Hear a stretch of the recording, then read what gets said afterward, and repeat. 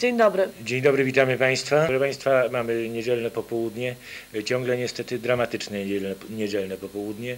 Może nie jest aż tak źle, jak przewidywaliśmy wczoraj, natomiast w części Jeleniej Góry rzeczywiście rozgrywa, rozgrywają się trudne, naprawdę trudne sceny. Proszę Państwa, od razu na początek chcę powiedzieć, że może najważniejsze nawet telefony, które w tej chwili Państwo kierują do nas, to są telefony z prośbą o powstrzymanie się od wycieczek, o powstrzymanie się y, setek ludzi, setek samochodów, od udawania się w te najtrudniejsze, najbardziej newralgiczne części miasta.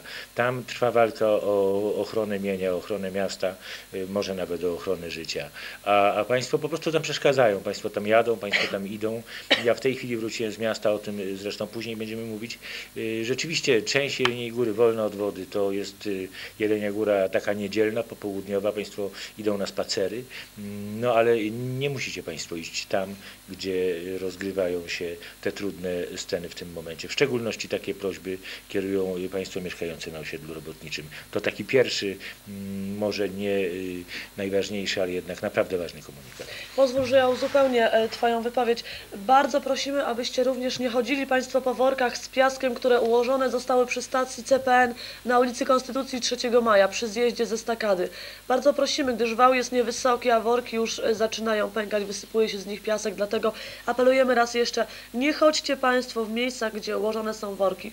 Tam y, sytuacja naprawdę nie jest wesoła, woda się podnosi, dlatego bardzo prosimy, abyście nie sprawdzali Państwo, jak jest głęboko.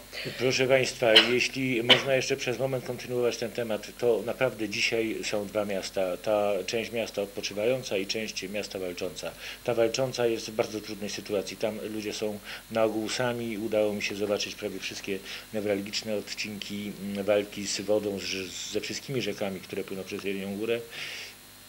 Już być może nawet ci ludzie nie tak bardzo potrzebują pomocy, jak potrzebują spokoju i rzetelnej współpracy z komitetami powodziowymi, y, bez komentarzy, czy panów elegancko ubranych, którzy spod parasola mówią, no nie, no ja bym ten worek sypał inaczej. No to weź i syp, właściwie chciałoby się powiedzieć. Proszę Państwa, już prosimy y, pana posła Szmajdzińskiego. Pan poseł jeszcze w kurtce widzę prosto z tak zwanego terenu. Panie pośle, co pan robi w Jeleniej Górze? No, Jelenia Góra to moje miasto, moje województwo, więc jestem tutaj. Przyjechał pan zobaczyć.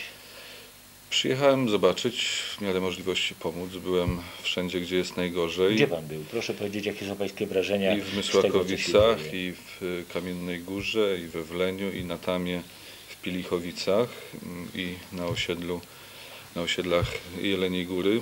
Sytuacja rzeczywiście jest y, dramatyczna. Wydaje się, że, że mamy więcej tego sprzętu. Jest więcej wojska, jest 400 żołnierzy z dywizji generała Bortnowskiego z Żagania. Jest więcej y, sprzętu strażackiego. Przyjechały kompanie i bataliony z innej części y, Polski. Wszyscy jesteśmy lepiej wyposażeni. Przyjechały kolejne transporty worków, cały ten mechanizm wydaje się, że działa sprawnie, jak na warunki kataklizmu, co nie znaczy, że w konkretnych miejscach, w konkretnych czegoś ulicach czegoś nie brakuje, nagle potrzeba, wczoraj była wielka potrzeba w Kamiennej Górze worków, bo tam była sytuacja dramatyczna. Dziękuję bardzo. Dziękuję bardzo. Wszystkiego dobrego. Przez całe dzisiejsze przedpołudnie realizowaliśmy materiały dla Państwa, dlatego też chcielibyśmy przedstawić Państwu, może odbierzemy jeszcze ten telefon, chcielibyśmy przedstawić Państwu, jak e, wyglądała sytuacja dzisiaj w godzinach przedpołudniowych, przede wszystkim na e, skrzyżowaniu ulic Konstytucji 3 Maja i Grunwaldzkiej. Bardzo prosimy realizatora o materiał filmowy. Dziękuję Pani. Dziękuję Pani bardzo. Do widzenia. Ja w tej chwili wyłączam na moment telefon. Tutaj macie Państwo przez cały czas zdjęcia z ulic, ze skrzyżowania ulic Konstytucji 3 Maja z ulicą Grunwaldzką. To jest wał zbudowany obok stacji CPN-u. Niestety woda przez niego się przelewa. I to nie tylko za sprawą tego, że jest za niski. Apelujemy do Państwa raz jeszcze, abyście Państwo nie przechodzili po workach z piaskiem, ponieważ one zaczynają pękać. Piasek z worków się wysypuje. Za chwilę będziecie Państwo mieli taką sytuację woda płynie, kałuża jest głęboka. Y, policja prosi, apeluje o to, abyście Państwo tamtędy nie przejeżdżali, bo naprawdę nie warto ryzykować. I po raz kolejny apelujemy o nieprzechodzenie po workach. Ponieważ do naszego studia dotarła w tej chwili pani prezydent Jeleniej Góry Zofia Czernow, dlatego y, którą bardzo gorąco witam. Y, Za chwileczkę pokażemy Państwu dalszą część naszego materiału. Pani prezydent, zakończyły się obrady Komitetu Przeciwpowodziowego. Proszę powiedzieć, co Państwo ustaliliście.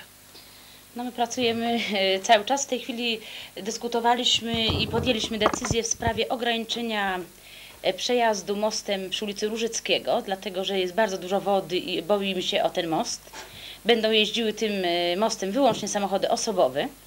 E, Być może jak woda opadnie, to wrócimy do autobusów jak najszybciej. I również y, jest duży problem, a przynajmniej obawa, jeżeli chodzi o most przy ulicy Grunwaldzkiej, bowiem widzimy konieczność dociążenia tego mostu, aby zapobiec ewentualnemu jego jakieś uszkodzeniu na skutek bardzo dużej wody, która właśnie pod tym mostem już prawie się nie mieści. Którędy w tej chwili będą kursowały autobusy, bo to jest chyba jedyny taki pewny środek lokomocji w naszym mieście. No więc autobusy będą no, in, zamiennymi liniami. Ja w tej chwili nie mogę powiedzieć, bo przed chwilą MZK do e, naszych ustaleń ma podjąć e, decyzję, jak, mają, jak będą kursowały w najbliższych godzinach autobusy, bo sądzę, że to zbyt długo nie potrwa. I jak wygląda sytuacja w najbardziej zagrożonych punktach naszego miasta?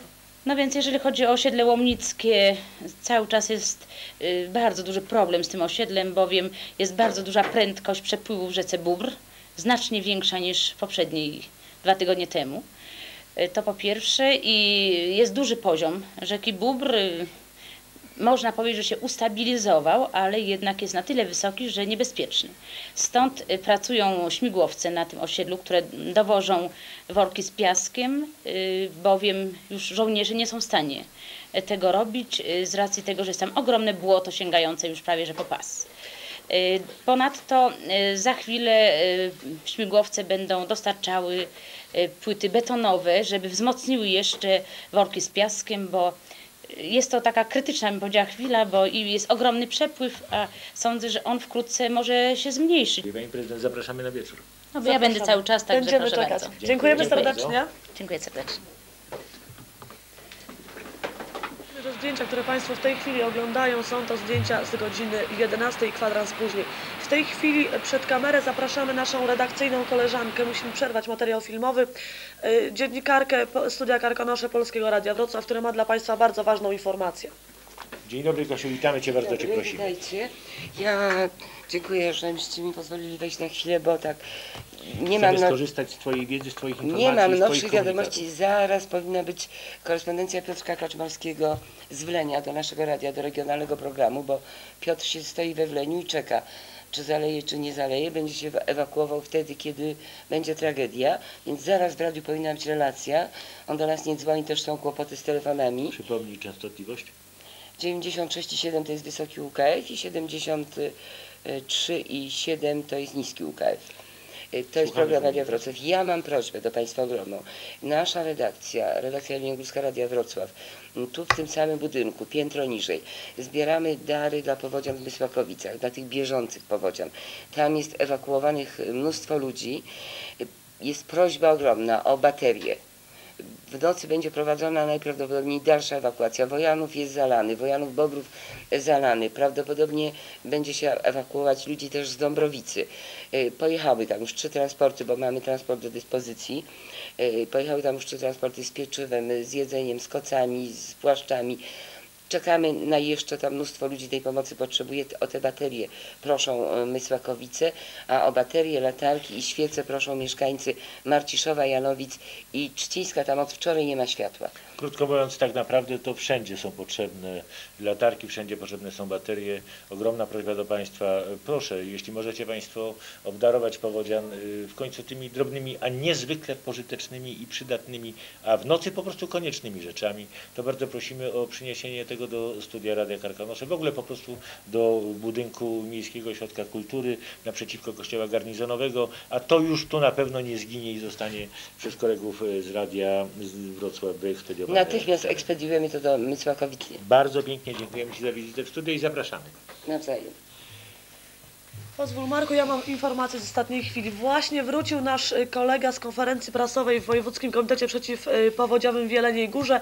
Bardzo prosimy realizatora o materiał filmowy z tego posiedzenia. Usłyszycie Państwo najświeższe informacje dotyczące y, stanu powodziowego w Jeleniej Górze. Bardzo prosimy o materiał. Pracuje na terenie województwa jeleniogórskiego 6 amfibii, pracuje 500 żołnierzy w tej chwili. Ostatnia rezerwa 130 takich świeżo wypoczętych zostało przekazanych do ratowania osiedla Łomnickiego. Pracuje tam również helikopter y, Lasów Państwowych, jeden przy y, naprawie i, pilnowaniu wałów, drugi Mi-8 wy- wylądował i będzie pomagał w ewakuacji, bo to jest do transportu do transportu lud, ludzi jest przygotowany wraz z ekipą ratowniczą. Oczekiwany jest trzeci helikopter, który przysyła nam Dolnośląski Okręg Wojskowy, również do ewakuacji zagrożonych mieszkańców, głównie obszarów Mycłakowic i Jeleniej Góry, bo w Marciszowie powoli sytuacja się stabilizuje. Tam dokonano ewakuacji, ale tam mniej więcej jest wystabilizowane. W tej chwili miałam również telefon od y, ze, ze Świeżawy, bo było tam też y, takie pewne zagrożenie, ale Kaczkaczawa już weszła z powrotem do koryta.